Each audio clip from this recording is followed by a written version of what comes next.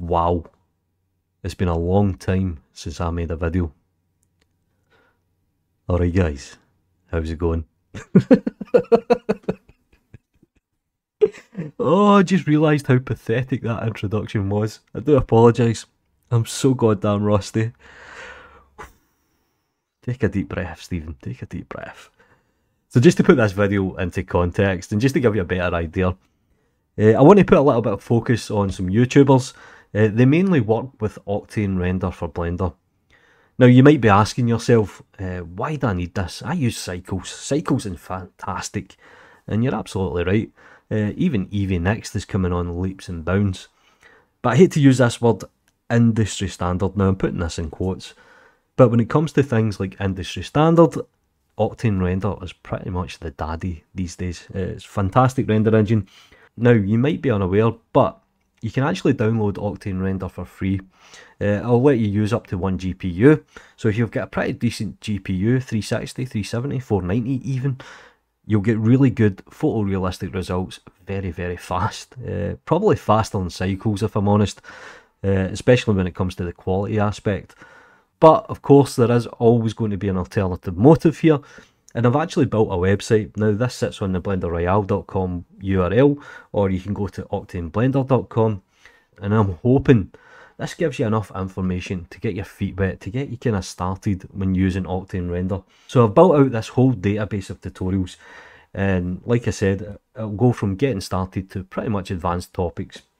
So when I was building the database, I thought, I'd like to give a little bit of recognition to these YouTubers. They build a lot of content and I'm pretty much here cherry picking. So the first one up is Pierre. Now I apologise, I'm horrible when it comes to pronouncing people's names.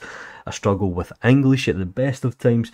But Pierre is sitting on 465 subscribers. So please, with all these people, go like and subscribe. It takes you two clicks. Not exactly the most beginner friendly tutorials. There is a few things that might help you out, but focuses a little bit on like things like Blender Octane plugin, round edges, stuff like this. Now the next one up is one polygon with me. Now I'll probably argue probably the most active when it comes to making tutorials. This will give you beginner tutorials. It'll even kind of not bitch about what's wrong with Octane, but it'll kind of point out things that you might find easier in Cycles than you would in Octane, and vice versa. You'll find things like Octane, like doing glass, is much much easier. So one polygon with me, highly recommend. 2,000 subscribers. And the next one is Jay Brashier or Jared. Uh, excellent tutorials if you're into your product rendering. Uh, this is where Octane actually excels.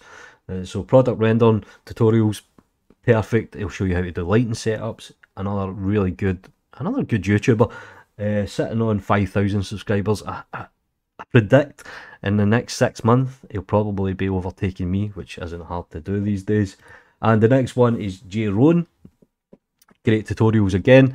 Now, just like everybody else, they also use Blender as their native application, so you will find just general Blender tutorials. And last one in the list is Hassan. Hassan's a great teacher. Now, he's only sitting on 169 subscribers, so please do me a favour if you're interested in Octane Render, check out the website, check out these YouTubers, like and subscribe them. It takes one click. And that's pretty much me for the day. Wow, I'm so rusty at this. I do apologise. Anyway, take care.